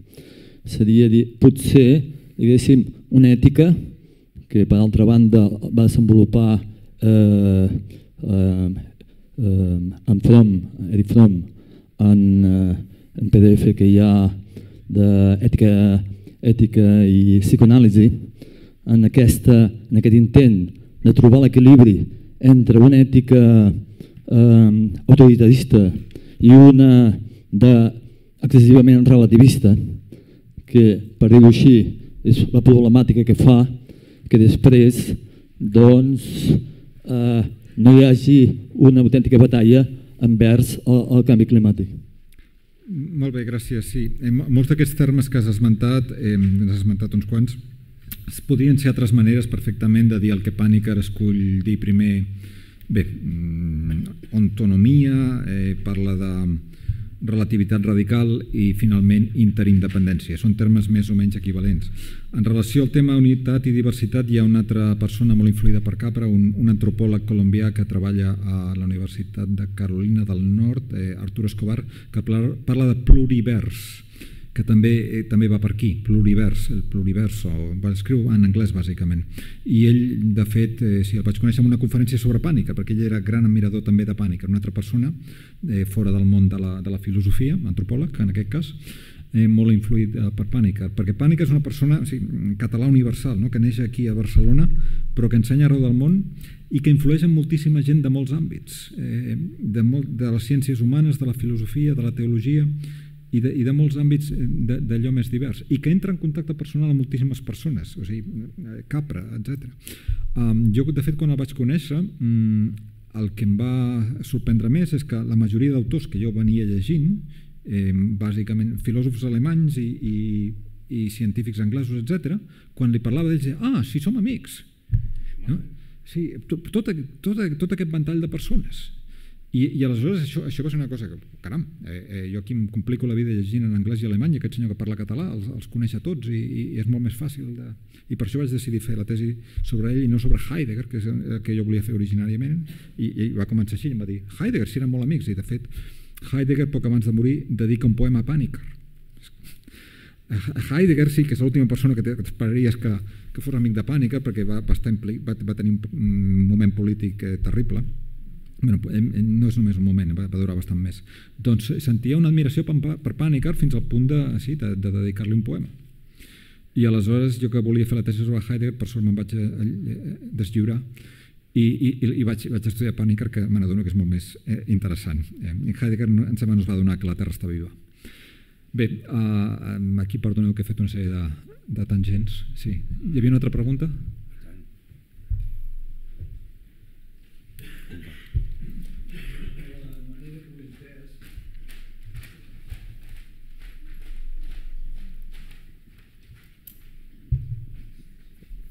Eh, observant tant tant llegir en profunditat el que he escoltat, semblava que tenim aquí que la insostenibilitat i la interinterdependència interindependència són conceptes que d'alguna forma expressen un canvi de paradigma substancial. Sí. diríem, potser, no sé, m'atreveixo a dir-ho, que la millor estem passant un canvi de paradigma, paradigma de lo que va ser la il·lustració a lo que pot ser la bioinspiració, algo que ens permeti canviar la nostra manera de pensar en termes de racionalisme, en termes de que la raó s'imposi per un altre concepte que inspirant-nos en la vida, inspirant-nos en la naturalesa, pugui dotar-nos d'una lògica que ens permeti diàlegs que no són de contraris, sinó diàlegs complementaris, que ens permetin construir i no destruir, i puguem estar arribant a crear un àmbit de consciència superior, consciència que ningú sap definir-la, que no sabem què és, però tots usem la seva paraula, i que aquesta consciència probablement ha d'anar a la part del desenvolupament de la ciència i la tecnologia perquè no entrin en confrontació, mm. sinó que puguem aprofitar la ciència i tecnologia i el seu magnífic desenvolupament des d'un estat de consciència madur, molt més madur, que pugui integrar tots aquests conceptes. M'agradaria la teva opinió al respecte. Sí, efectivament, el, el canvi que ens toca fer eh, és, és en gran mesura, es pot definir com a passar d'una racionalitat que estava deslligada de la vida, la racionalitat per si és meravellosa, el problema és quan es deslliga de la vida. Mm? D'aquesta racionalitat deslligada de la vida a una racionalitat integrada en la vida, o que tingui la vida com a paradigma. I per això doncs, bioinspiració, biomímesi, etc són paraules clau eh, que refereixen al camí on hem d'anar. I d'alguna manera, quan Pàniker demana passar de l'ecologia eh, a l'ecosofia, també el que ens està dient és passar d'una visió de la Terra des de la racionalitat abstracta de la majoria dels, dels articles científics, que estan molt bé, però és bàsicament anàlisi, a aquesta connexió més profunda amb la vida, amb la vida de la Terra. No? Aprofito per dir que, que una de les coses que per mi es deriven d'aquesta idea d'ecosofia i que ja és més agosarat uh, i, que, i, que, mm, i ho dic especulativament, no? eh, és que bé, si la Terra està viva, d'alguna manera deu saber el que fa deu saber el que fa, eh, no, no de la manera com nosaltres conscientment sabem el que fem, però sí que, que no fa les coses completament a la babalà. No? I, i, I aleshores, davant dels, dels, de les convulsions climàtiques i d'altres que, que comencem a tenir sobre i tindrem sobre cada vegada més, ens agradi o no, doncs crec que és bo saber que, que d'alguna manera la Terra, eh, com més conscient sigui, tant, tant de bo la Terra sigui intel·ligent, per, perquè pugui actuar amb el màxim de seny possible. Diguem-ho així. El problema és si arribem, si arribem ja massa tard, no? perquè l'últim informe del panel intergovernamental contra sí, sí. el canvi climàtic eh, es diu que ja és inevitable la pujada de la temperatura a 2 sí. graus, que podem arribar a 5 graus. I aleshores, dir, clar, bé... Això, eh, això tindrà un impacte sobre la cultura. No sé, no sé si estem discutint sobre uns ideals que que els polítics van una mica més accelerats o arribem tard. Però és que Pàniker ja hagués assumit que, que sí, sí, ens toca passar per aquí, ens toca passar per, per aquesta prova bueno, i aleshores però això no implica el final de la vida, implica el final eh, de moltes de les estructures que coneixem, però, però algun tipus de... I com ja, governar el món eh, sí? si no hi ha governança mundial? Bé, però és que ara mateix eh, hi ha una suposada governança i, i ja veus, i ja veus que, com estem i ja veus qui, quina mena de persones són escollides democràticament eh, eh, o sigui, tenim governança però tenim un, un gran desgavell. Seria, seria una utopia imaginar una Catalunya, una república catalana amb aquests ideals o, o, o amb aquests paràmetres exposats pel Pàniker? Seria viable? Bé, eh, podem tenir una república catalana però la tindrem en canvi climàtic. Eh, eh, eh, o sigui, o sigui la, la, eh, tant si tenim república catalana com si no la tenim, el canvi climàtic sí que el tenim, sí que el tenim a sobre. I aleshores, eh, diguéssim que si tenim República Catalana... El procés no parla d'això, eh? No, no, però, però hauria no de parlar-ne, jo crec. A Manresa, la crida el dissabte no parlarà d'aquests temes. Però, però aleshores, davant del canvi climàtic, crec que podem reaccionar amb més agilitat com més independents siguem. O sigui, si hem d'esperar ordres de Madrid per reaccionar davant del canvi climàtic, no tenim la mateixa agilitat que si, que si som més autònoms. Tu veus alguna constitució en el món d'algun estat que tingui els drets dels béns naturals eh, Bé, hi ha Equador, pa, parlen de la Pachamama, l'Equador, els drets de la terra, sí, però, però clar, evidentment tot això... Hi ha la Carta de la Terra. Sí, hi ha la Carta que, de la Terra. Que el Pàniker la, li donava sí, suport. Sí, sí, sí. I aleshores, eh, clar, evidentment, si, si Catalunya aconsegueix independent, podia ser un referent mundial a nivell de valors ecològics i socials. Amb una Constitució amb aquests esquemes nous de plantejament. A, a, evidentment, perquè per, per continuar business as usual no, no, no val la pena no val la pena eh, per fer un tot, estat tot, tradicional val la sí, pena no, tot, no, tot, tot no, aquest fullon no. que tenim. Eh, si, si és per donar un exemple al món i posar eh, aquests valors més humans i més ecològics sobre la taula, aleshores tot val la pena. Però o sigui, si, si només ha de canviar la bandera no, no, no, no val la pena que... Aquí, aquí Em sembla que el llac tindrà molta feina, eh? Oh, tant, ja. Sí, a ver, eh, sí, hola al, al, hilo de lo que estabais diciendo en estas dos últimas intervenciones, a ver, yo seguí de, muy de cerca en los últimos años a Ramón Paniker, soy a él de la Asociación de Paz de Cataluña. Sí. Y me ha tocado viajar por toda España y, me, y, y, y, algunos como yo estamos para continuar algunos de los caminos y los trazos que hizo Ramón Paniker. Y yo tengo información, eh, por decirlo así de alguna manera, es uno de mis guías, eh, Ramón Paniker. Ajá. Eh, porque estoy en el servicio para lo de la cultura de, de, la paz, amor y unidad, Pau. De la cultura de la paz es la cultura de la paz, amor y unidad. Y quería hacer énfasis y complementar lo que tú has dicho, que lo que nos diría y lo que nos dice hoy eh, para vosotros y para que lo sigamos eh, ejercitando, que es el punto este de, que ha comentado, lo de la conciencia, la ecosofía, mm. está en lo de la parte de la tierra, pero está en la parte de la sabiduría y de, la no tan sabiduría, lo del conocimiento y lo de la conciencia, de los valores, unos valores muy sencillos que vienen desde la época de Jesús, que, que tenemos que poner a practicarlos y, y, a día de hoy pues que no, no están esos valores todavía. Entonces, evidentemente, la evolución de la Pachamama va a ir en consonancia y en ritmo en la capacidad que nosotros tengamos de implementar estos valores en el nuevo paradigma y en los nuevos proyectos que tenemos para desarrollar. Esto es lo que nos dice Ramon Pànicar per avui, que és molt important. I, i d'alguna manera, com més connectats estem amb la Terra, amb la Pachamama, també més fàcil és que, que ella, bé, com millor, com millor la tractem amb ella, millor ens tractarà ella a nosaltres. Igual que, que amb les persones, no? Mm, de la manera que t'adreces amb elles, tindrà a veure com elles te respondran. No sempre, però en molts casos sí. Hi havia alguna altra... Mas... Sí, sí unes quantes. I allà també, ui, Xavier Garcia.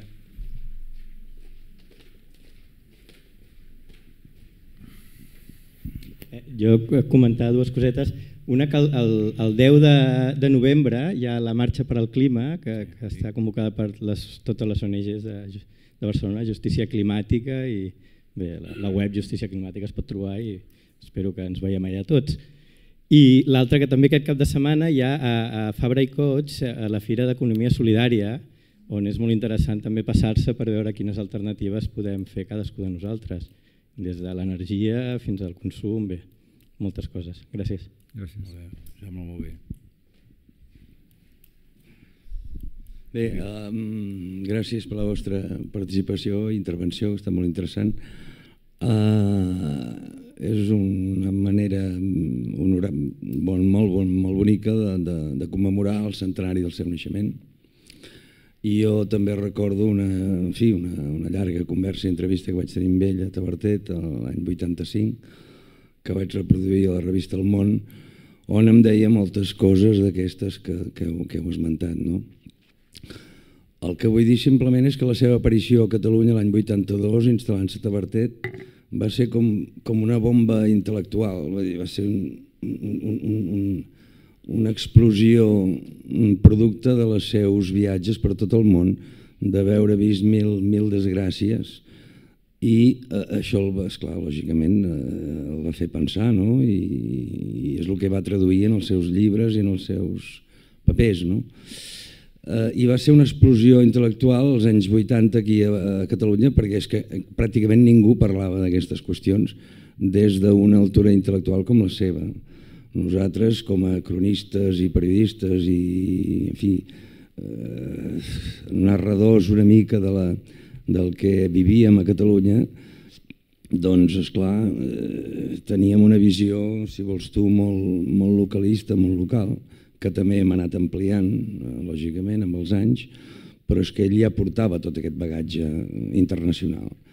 I per tant també ens va ser molt útil a tots nosaltres, a tots els que el van voler escoltar, perquè, perquè els que el van voler escoltar doncs érem gent allò de tropa, per dir-ho així, eh, vulgarment, diguem-ho així, però els grans estaments polítics i culturals catalans van passar completament d'ell fins que, no va, fins que no van saber exactament eh, quina dimensió tenia, no el van començar a editar en català, etc etc etc. O sigui que entre, en fi, entre uns i altres, doncs, hem, hem, de la manera que hem pogut, i tu, Jordi, doncs, amb, tota la, seu, la, teua relació amb ell, amb la, eh, la tesi doctoral que has fet, doncs, doncs has ajudat molt també, efectivament, a, a fer-lo conèixer, a fer-lo estimar, i aquelles converses que teníem a Tabertet, a la Fundació Vivarium, que hi havia gent de, de molta mena,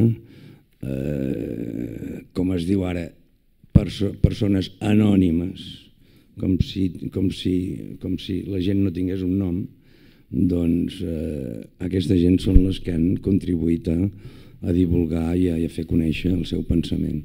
O sigui que en el centenari del seu naixement per mi també és un, és un motiu d'esperança, de, de, de recordar-lo i de, i de veure-lo molt, molt, molt que va arribar a treballar. Moltes gràcies, Xavier. Jo, jo estic d'acord en, que, en que sí que va ser com una, com una explosió, deies tu, no? És que quelcom ha, ha arribat de, de no se sap on, i, i la seva arribada, diguéssim que, tot i que al principi no va tenir gaire repercussió, eh, com deies, sí que d'alguna manera va ajudar a transformar la consciència del país, jo crec. O sigui, va influir en moltes persones que van influir en altres persones que d'alguna manera han contribuït a que aquest país avui eh, tingui una sèrie de perspectives que de vegades estan més eh, ecològicament i socialment avançades que d'altres eh, territoris del nostre entorn. I això té a veure amb moltes coses i amb moltes persones, moltíssimes, però la influència de Pàniker va, va, va ajudar en aquest sentit. I per molta gent, eh, com, com jo mateix, eh, era una persona que eh, tenia una dimensió espiritual però sense identificar-se exclusivament amb cap tradició i aleshores eh, et permetia tenir una perspectiva bé, múltiple, perquè podia parlar des d'Orient i des d'Occident, des de la ciència i de l'espiritualitat, i això doncs, t'obria una sèrie de perspectives que eren increïbles. I per tant, sí, a, a moltíssims de nosaltres ens va, es va influir i alguna cosa, eh, la, seva, la seva llavor ha donat molts fruits que, que potser de vegades no veiem i, i és, és bo reconèixer-ho. Hola. Gràcies. Eh, yo quería preguntar y también aportar con todas las cosas que he escuchado eh, sobre, bueno, yo soy indígena y he venido a estudiar aquí a Barcelona, soy de la Patagonia, Argentina. Cuando empecé a estudiar eh, medio ambiente me di cuenta que sí que la responsabilidad estaba en cada persona, pero cada persona había sido influenciada por un sistema y de estos sistemas, como por ejemplo la Reserva Federal, el sistema económico, el sistema farmacéutico y el sistema educativo, eh, han creado eh, una forma de ser, de vivir y de pensar. ¿no? Entonces luego he pensado, el futuro de la humanidad está en los críos, en los niños, porque son como la nueva generación. Y hemos hecho un montón de plataformas para cambiar el sistema educativo, para, bueno, para protestar, para que exista un cambio. Y es más que evidente que el sistema educativo está mal y que se tendría que cambiar, pero sin embargo es como que no, no se logra cambiar por razones que son demasiado extensas como para explicar. ¿no? Entonces, yo a veces me pregunto, ¿cómo sabiendo tanta información a la que estamos sometidos, mucha gente, y sabemos que están sometiendo a los niños, sabemos que la publicidad, por ejemplo, aprovecha eh, las neurociencias para llegar más a nuestro cerebro y convencernos de cosas, me deprimo y no encuentro eh, a veces la esperanza o, la salida o, esa herramienta de cambio para poder hacer avances como un poco más rápido, porque siento que vamos como demasiado lentos. Entonces, quizás es una pregunta muy personal la que, la que digo, ¿no? Eh, bueno, porque sé que has estudiado con Panicat, ¿cómo, o sea, ¿dónde, dónde encuentran esa fuerza para, para seguir trabajando con todo esto, trabajando en universidades sabiendo que el sistema educativo no está del, lo correcto, ¿no? lo que tendría que ser? Y luego sí que es verdad que cada persona somos responsables, pero eh, también el desarrollo personal, el crecimiento personal, veo que tampoco se ocupan sobre la parte ecológica, que es como todo muy espiritual, muy, como, ¿sabes? Como muy energético, pero no se fijan en la biología, que es de donde salimos, que salimos del, polvo, de la tierra, ¿no? Entonces, eh, a, veces pienso que tendría que haber un, un intermediario que que dé este soporte entre la biología, entre el sistema global y entre eh, las personas en el crecimiento personal, ¿no? Y no encuentro esta herramienta, no, no, logro llegar a ella, no sé a quién acudir, ni dónde estudiar, ni cómo, ni cómo hacerlo. Entonces, sé que es una pregunta personal, pero quizás no, nos ayudes a, a la gente que estamos trabajando en esto. Las cosas personales son las más, las más importantes. Eh, ese lugar de, no tener esperanza, yo he pasado por ahí y, todos en algún momento eh, hemos pasado. Y tampoco no, tengo una receta de, cómo se sale de ahí, ¿no? Pero sí que es cierto que e, ese lugar de encuentro entre biología y crecimiento personal y encontrar el sentido de la vida es algo en lo que Panicar trabajaba, en lo que antes, por ejemplo, Eric Fromm, que también ha sido citado, trabajaba, y yo, y yo mismo modestamente también intento trabajar en esa línea con las cosas que escribo, etc. Em, para mí estamos en un mundo en el cual cada vez hay más oscuridad y también más luz. Es como si, si crece la oscuridad por todas partes, pero también crece la luz en, muchas iniciativas que van saliendo, como las que ahora mencionaban, mm, eh, la feria, por ejemplo, que hay este fin de semana en Barcelona, etc. Todo esto son iniciativas que no existían hace, hace 30 años. Y hay cada vez más conciencia, hay cada vez más gente que está haciendo cosas maravillosas, y al mismo tiempo hay más, gente que está mm, destruyendo y comportándose de manera egoísta y salvaje. Martin Luther King tiene una frase muy bonita que dice que en cada momento cada persona tiene eh, la obligación de escoger si quiere caminar el camino del egoísmo destructivo o del altruismo creativo, en cada instante, en cada minuto, seas quien seas. Y de algún modo es eso. Eh, eh, tú puedes caminar ese camino, o sea, en cada momento puedes escoger entre, el camino de, la oscuridad y el camino de la luz, o del altruismo creativo, dice King, y el, y el eh, y el egoísmo destructivo. Y no hace falta que sea 100% siempre eh, eh, en un camino, pero ir encontrando el camino y escuchando, escuchando tu corazón. Si, si mm, las personas de, todos, todos tenemos un origen indígena, pero si tú lo tienes más reciente, seguramente estás más cerca de la tierra y, de, y tu corazón está más cerca de la tierra que muchos de nosotros que hemos crecido aquí en el asfalto, para bien o para mal. Ah, entonces, escuchar, escuchar tu corazón y a ver qué te dice. Y, por, ahí es, por ahí viene la respuesta. Yo, creo, si me permites, que Eli, que era un referente para Paniker, venía a decir que la revolución está en el consumidor. O sea, que hasta que no haya una revolución de los consumidores, las cosas no van a avanzar, porque la cultura está secuestrada por los intereses industriales. Esto es una realidad, es mi opinión. Y, y la economía está secuestrada por los lobbies energéticos, farmacéuticos, agroquímicos. Es acojonante lo que está pasando. ¿eh? Están introduciendo cantidades de, sustancias químicas sin control ni precaución, ni el principio de precaución, que es un principio básico de la Unión Europea, no se ha respetado en ningún momento. Entonces, eh, es alarmante que haya miles de productos que en ese momento están, estamos consumiendo sin control de ningún tipo. Y hasta que no haya una revolución del consumidor, no podremos eh, conseguir que los políticos cambien el chip. Es decir, que eh, aquí hay un problema grave, ¿no? Quiere decir, de cómo, de cómo están colonizando la cultura y nuestra mente. Y eso yo creo que, que lo ha explicado muy bien con las nuevas tecnologías, que es un problema gravísimo. El tecnofascismo que tenemos encima. No sé, quizás me he excedido.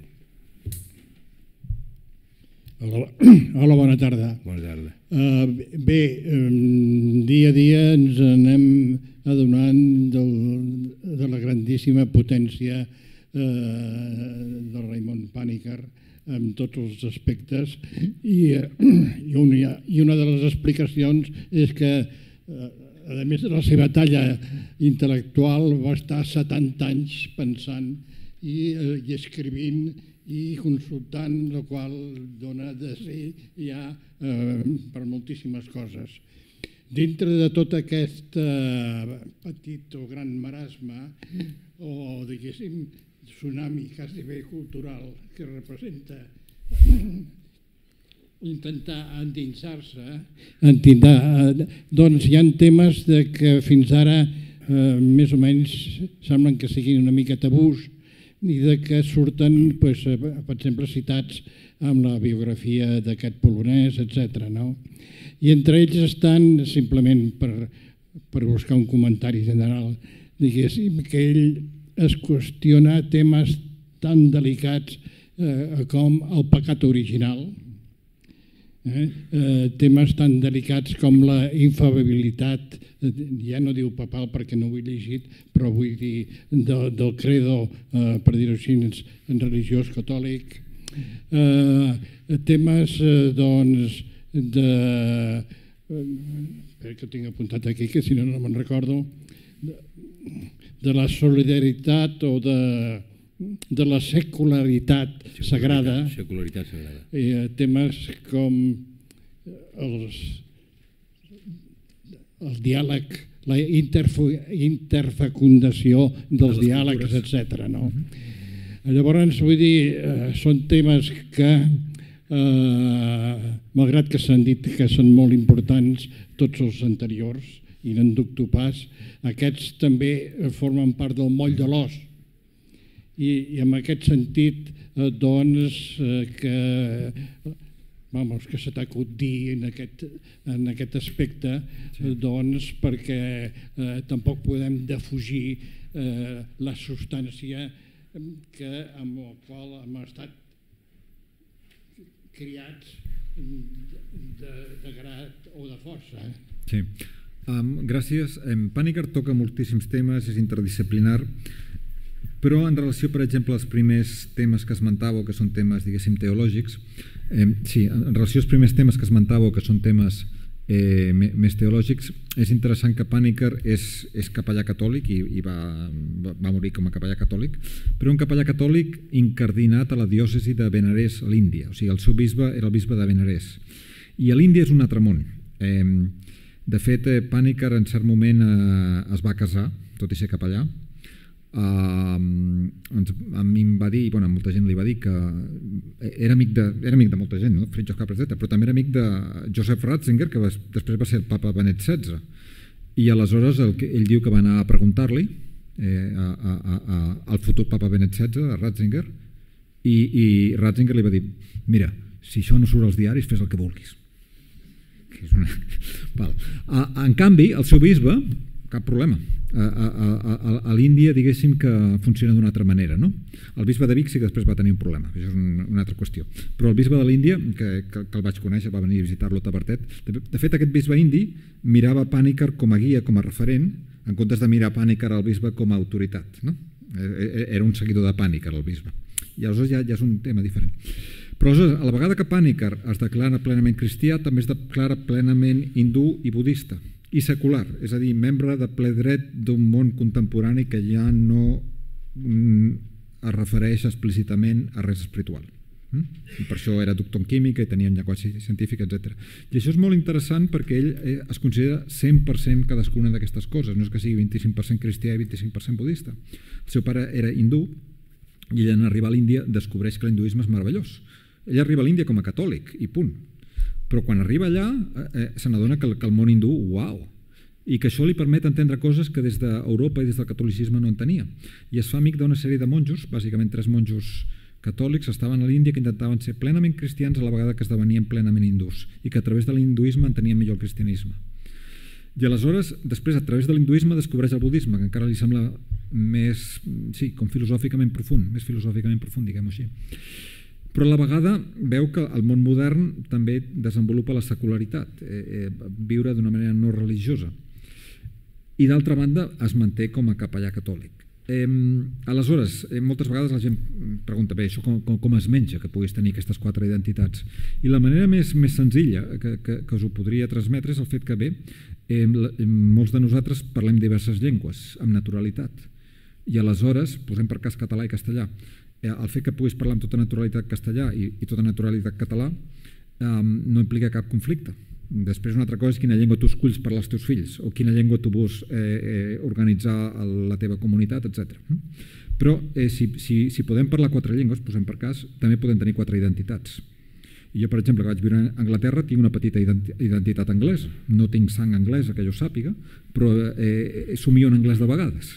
I, i, i me sento més proper dels anglesos, per bé o per mal, que dels coreans amb tots els respectes als coreans, però m'ha tocat així. No? Aleshores, d'alguna manera, eh, una cosa que diu Pànic eh, de vegades és que sí, que les cultures són com les llengües. Cada llengua té els seus sistemes de, de, de, de, crear sentit, de trobar sentit al món, i també els té cada cultura. I dit això, també és molt interessant, i, i de fet vam fer una xerrada aquí a l'Ateneu eh, a principis d'any, sobre la filosofia del llenguatge de Pànicar. Com Pànicar eh, considera que cada llengua és única i, i com fins i tot ell va eh, coordinar un simposi de dos caps de setmana a Tabertet amb alguns dels millors lingüistes i filòlegs catalans sobre l'especificitat del català, què té d'únic el català. Cada llengua té quelcom únic, doncs ell va voler explorar què té d'únic aquesta llengua nostra. I això és molt interessant um, en, en un món en el qual de vegades ens vol fer creure que, que el que es tracta és d'uniformitzar i que tots parlem castellà i a la llarga anglès. Doncs no, el que Pànica està dient és que cada cultura és única, cada llengua és única, cada dialecte també, i que cal preservar la unicitat de les llengües perquè cada llengua és com una finestra única en el món. I per això és un desastre el fet que es distingeixin, eh, em sembla que són dues llengües per setmana. Mm? Dues llengües per setmana s'extingeixen. La majoria són llengües indígenes que només les parla un avi o una àvia i quan aquella persona mor ja no la parla ningú. Wow. Però cada vegada que això passa és com si el món s'empobreix igual que quan desapareix una espècie. Aleshores, Pàniker també té una dimensió lingüística que és molt interessant, però això ho, eh, ho vam explorar en una altra xerrada que crec que està penjada a, a, a la pàgina web de, de, de l'Ateneu, si a algú li interessa. A més, també, també tenia la visió de la, de, la, de la llengua com a llengua viva, l'ecologia de la llengua, l'ecolingüística, és dir, com la destrucció del territori, del paisatge, dels animals, estem perdent noms, estem perdent espècies, i tot això degrada també la llengua, és a dir, l'eco lingüística, no? Dir que és un, un, un tema que també el, el Pàniker li va interessar i que ens va motivar molts eh, ecologistes també a apropar-nos a, a l'ecoliteratura, a l'ecolingüística. Eh, més preguntes? Animeus, encara tenim un petit...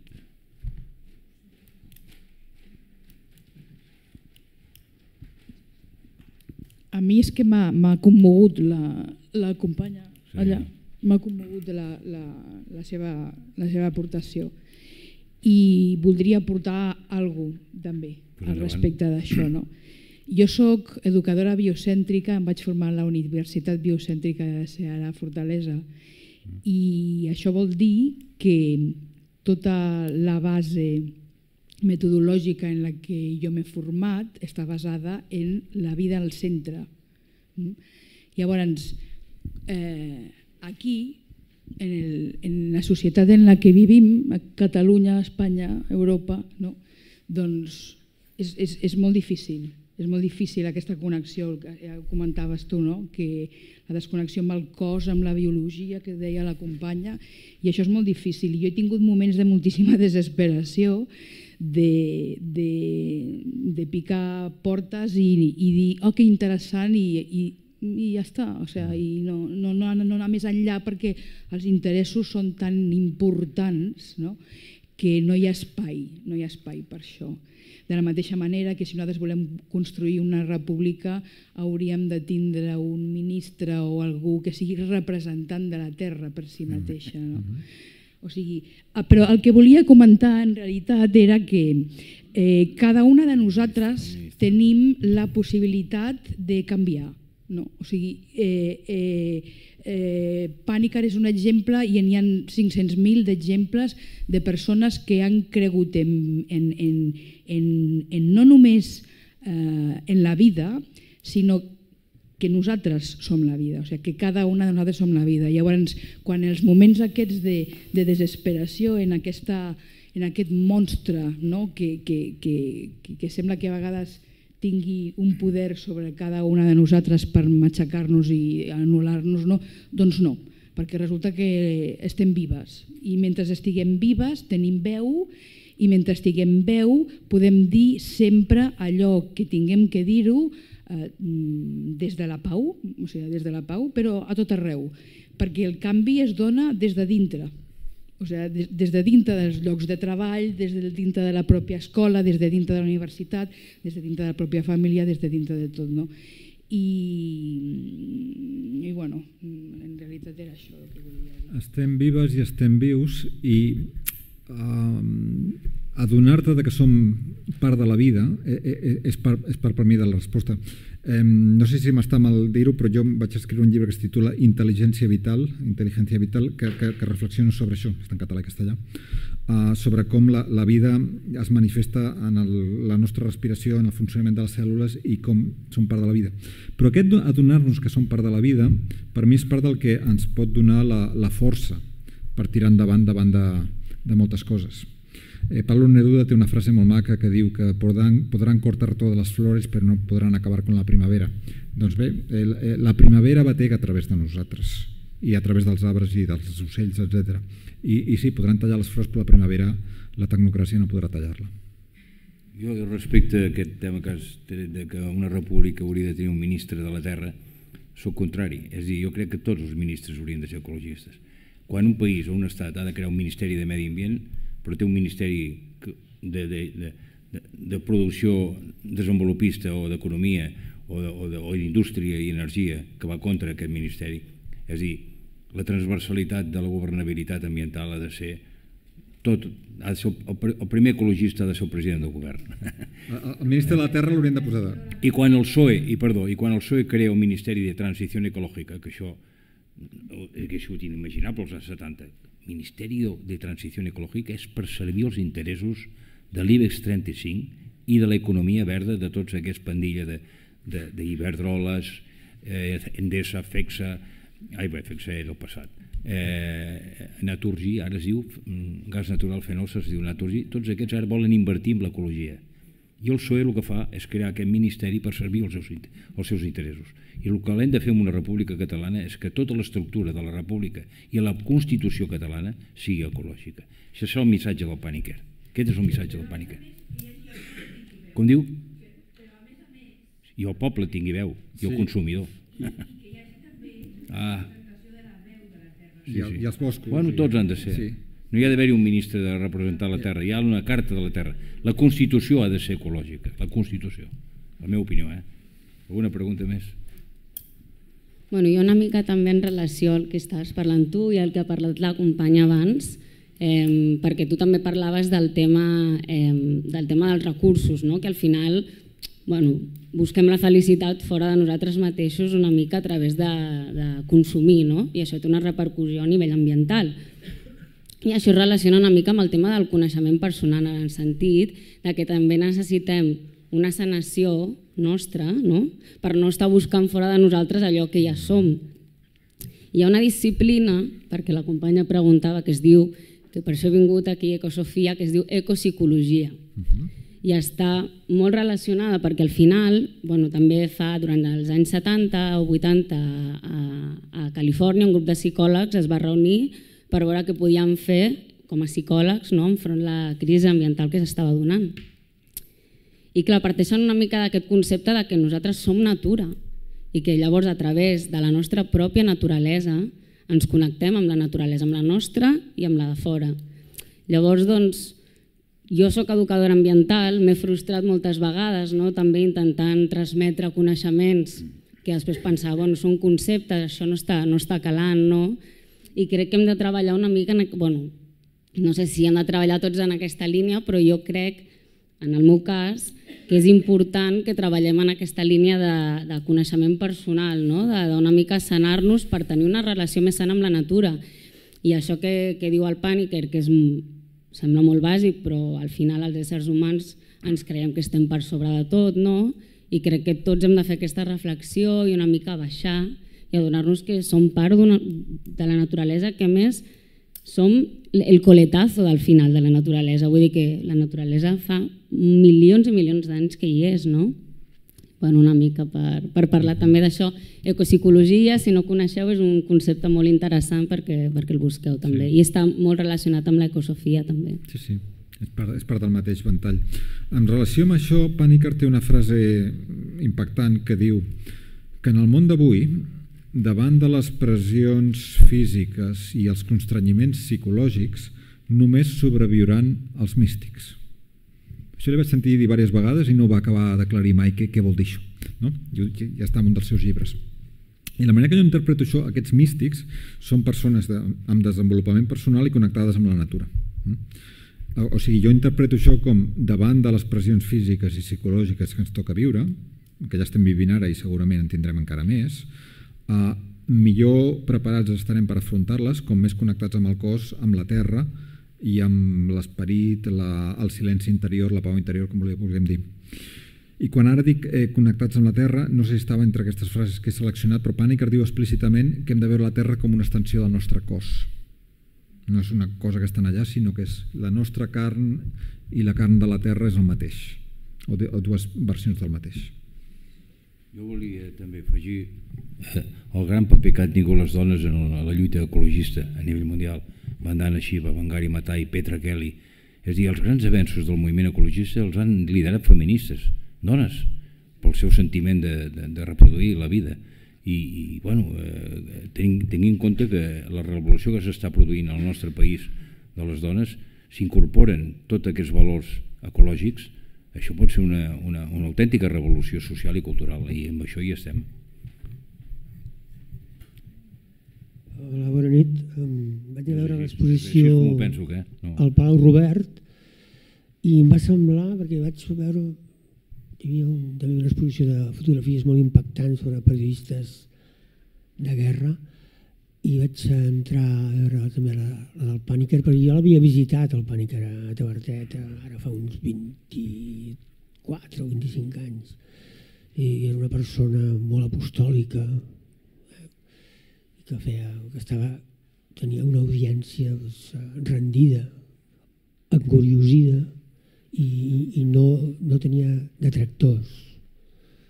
Ell s'enyorejava amb molta intensitat, el qual em va fer pensar que potser no n'hi havia per tant, perquè els seres humans tots som iguals. No? I llavors l'altre dia amb aquesta exposició de, sobre ell, del Palau Robert, eh, vaig veure que eh, en la seva joventut, si, no, si m'equivoco, perdoneu, eh, però la seva joventut va ser de l'Opus Dei. Sí. Bé, el que la meva pregunta és, es, es va, va aconseguir o donar-se en compte o, o, o què va fer per desprendre's d'aquesta secta?